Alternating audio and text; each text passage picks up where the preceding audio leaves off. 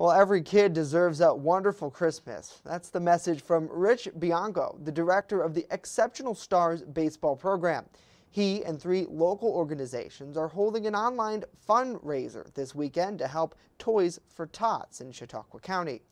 Exceptional Stars is collaborating with AJ Strong and Rosie's Run to raise funds to buy more toys for Christmas.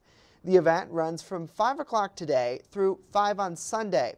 Bianco says the organization wants to give back to the community and help others in recognition of all of the support that his group has received.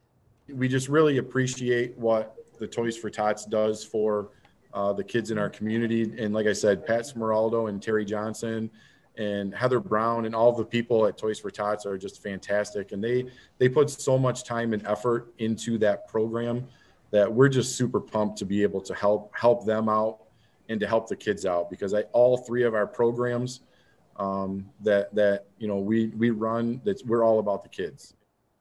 Now supporters can donate via Venmo at exceptional-stars-1 or through PayPal at exceptionalstarsathletics at gmail.com.